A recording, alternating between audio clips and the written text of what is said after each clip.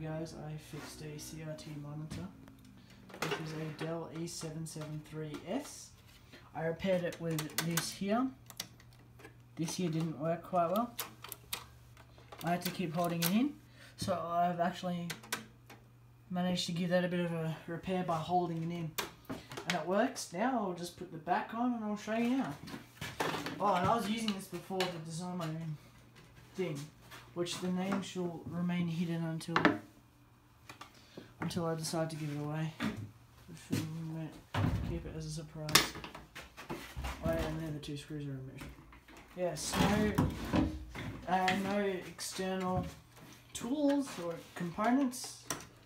In fact, everything that I actually worked on was already in here. On one thing, a note with this, people worry about the flyback and I cut. Don't. It's only 10 milliamps maximum. That's enough to give you a, a pretty violent shock, but it's not that. It's not enough to be fatal, unless you've got some sort of heart condition. But people say there's high voltage, yes, but it's low current, so it's kind of safe. Um, but all the stuff in here, like this sort of part here, like here, the main sort of side, sort of in here where the hundreds of volts, they are more capable than the flyback, so that's what you really need to worry about. Just with this, it's not that safe, but it's still, as you still shouldn't touch it though, but it's not that bad if you do touch it. From experience from another YouTuber, who I don't know who it is, he got, he touched one of those flybacks, he just says, yeah, it doesn't really hurt that much. They're fun to play around with, but still not a good idea to touch. Nothing's a good idea to touch. So I just put it back and yeah, and I also call Dell notorious for making unrepairable CRT monitors. I've had one of these before. I tried to put a new VGA cord on it because how stupid hot rubbish laws where you got to cut whatever's dangling off the end. That's now EOL. Well, it wasn't a bin a while ago. I've EOL'd the tube. I've necked it. I've let the air back in. And yeah. Oh uh, yeah, and here's the date of where it was made, where and when it was made. Made 2004 in Malaysia. And yes, that is an E773S by Dell.com.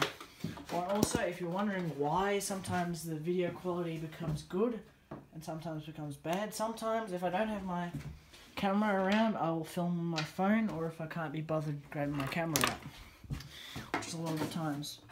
But my phone does run out of space occasionally. So I'll just put these screws back on and put the line cord in and yeah. And let me say this again. I only just held in the power button. And then it started uh, clicking back in and out again. So some of that stuff you can fix by some of the simplest things. And then there's some people who completely tear it down to bits, replace a lot of the things, and it really was just something someone like me could do with it without even taking off the case and the cover. Well, this did work fine. I actually got it for 20 or 18 dollars. Local pickup, and it wasn't actually that far away from me. It was only a 15 minute drive.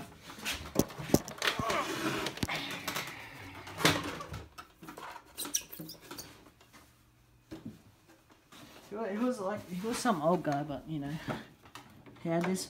And I've looked at the flyback and it doesn't seem like it's so much use. Sort of lights on. Oh, and I heard clicking. I thought it was a relay because I saw relay one things before. But no, it's not a relay.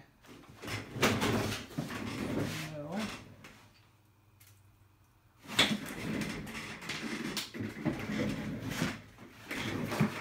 I'll sure. Because if, if the majority of the light's coming out, will the camera will sync properly. Like that. Because that's just one thing, if the majority of the light's coming from the camera, it will properly lock on.